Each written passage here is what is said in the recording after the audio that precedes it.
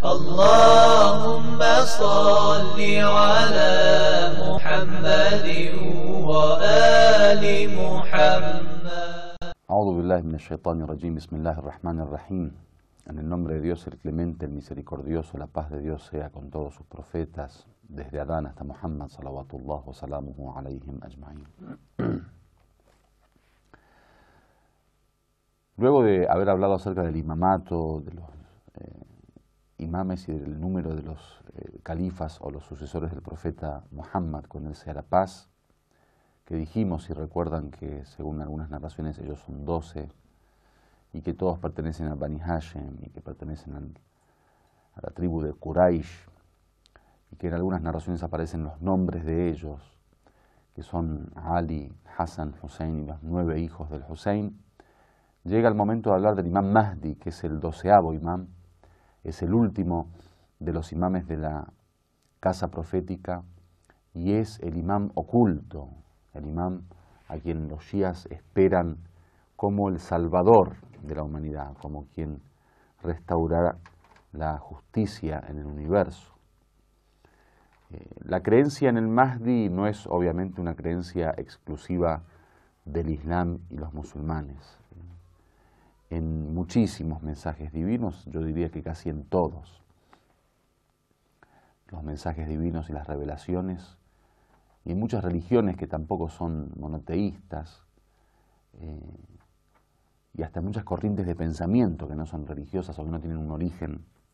divino, aparece la idea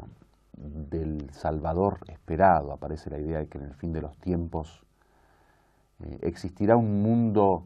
lleno de paz y justicia, lleno de equidad e igualdad,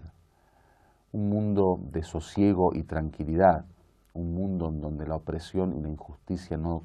tengan lugar. Un mundo en donde las relaciones humanas se basen en la hermandad verdadera entre los hombres, un mundo en donde las riquezas serán repartidas equitativamente, un mundo donde el gobierno será un gobierno único, un gobierno universal, un mundo en donde la ley será una ley divina y celestial, de eso se habla generalmente en los mensajes con el nombre del milenarismo, del mesianismo, o esta idea del restaurador o del salvador, en fin, hay nombres distintos para este fenómeno, pero que de alguna manera como idea y como concepto es un concepto común en todas las religiones, que en algún momento seguramente vamos a poder hablar acerca de aquellos textos de otras religiones y otros mensajes y otras revelaciones que hablan de este tema. Pero lo que me interesa ahora hablar, antes de entrar después en detalle sobre la persona del imán Mahdi sobre su gobierno, eh, porque estamos en un curso introductorio de, de, creencia y de doctrina islámica, por eso no vamos a profundizar mucho. En algún otro momento, seguramente cuando hagamos el curso de historia, vamos a poder eh, detallar más acerca de la persona del imán Mahdi. Lo que me interesa plantear en esta clase es que en realidad el tema del mahdismo o la espera del imán Mahdi, la espera de este eh, salvador para la humanidad al fin de los tiempos, más allá de ser una idea religiosa y de ser un concepto que se basa en lo que los textos sagrados plantearon sobre el tema, es una cuestión innata en el ser humano. ¿Qué quiero decir? Que innatamente en la naturaleza humana, en la naturaleza primigenia del ser humano, existe ya la idea de un mundo eh, con paz, de un mundo eh, sin fronteras, de un mundo sin diferencias, sin límites geográficos, de un mundo unificado, de una humanidad que convive una vida, digamos, y una experiencia eh, específica de convivencia pacífica, eh, de justicia social, de equidad, de igualdad de derechos. En fin, naturalmente todos deseamos de alguna manera vivir una especie de paraíso en la tierra. El ser humano por naturaleza, cuando eh, se encuentra en este universo, eh, tiene un deseo importante desde lo más profundo de su realidad y de su existencia de vivir en paz, de buscar un mundo lleno de seguridad, de buscar un mundo en donde no existan temores ni miedos, de buscar un mundo en donde el ser humano pueda convivir con sus semejantes de tal modo que no existan problemas de convivencia. En fin, esto de la naturaleza primigenia, lo que llamamos en otras clases la fitra,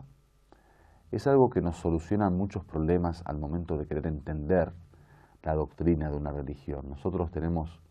una regla general en el Islam y es que el Islam es una religión innata, está conforme y está de acuerdo con la naturaleza humana. Por lo tanto, muchas de estas cuestiones que nosotros planteamos a nivel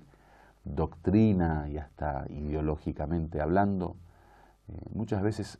uno las puede comprender desde su propia naturaleza, o sea, ver lo que internamente, en lo más profundo de su ser, como un deseo real o como un conocimiento real del ser humano, aparece para darnos cuenta si realmente eso pertenece a Dios o no. La regla es que todo aquello que es una enseñanza divina, todo aquello que tiene que ver con un mensaje de Dios, una eh, palabra divina, un contenido mm, basado en la revelación de Dios, tiene que estar conforme a esa naturaleza humana y a ese estatus eh, mm, innato y primigenio en el ser humano. Por lo tanto, el tema del mahdismo nosotros creemos que es también de alguna manera una cuestión innata. Como bien dijimos, por naturaleza el hombre busca de alguna forma unificar a los seres humanos en este mundo. Por eso lo del diálogo entre religiones, por eso lo del diálogo entre civilizaciones, por eso lo del diálogo cultural. Esto del diálogo no es más que la intención de trazar puentes entre los hombres para poder acercarnos más. Y esa cercanía, cuando se transforma en una cercanía real, cuando se transforma en una verdad, entonces es en realidad la unión de los seres humanos. Y esa unión necesita obviamente también una unión en la forma de vida, una forma de vida unificada, una cultura eh, divina y profética unificada. No hablo de cultura cuando hablo de cultura de cómo vestirnos o cómo comer o cómo hablar, hablo de la cultura profunda, lo que en algún, algún momento dijimos que tiene que ver con los valores y los principios que rigen la cultura, lo que dijimos en algún momento que tiene que ver con esas convicciones de los hombres que rigen su cultura. Entonces, en resumen, lo que nos interesa saber es, al fin y al cabo, esta idea del Salvador y esta idea del restaurador, ¿es algo creado por la religión o es algo que tiene que ver con la misma naturaleza humana? Como dijimos en esta clase, y este es el lema de la clase, para nosotros el tema de eh, la venida de un restaurador y un salvador para la humanidad al fin de los tiempos no es más que el deseo innato y natural de todo ser humano. Por eso, cuando hablamos del mahdismo o de la venida del imán Mahdi, no estamos hablando más que de una cuestión que añora todo hombre y algo que se dará y se desarrollará en el fin de los tiempos.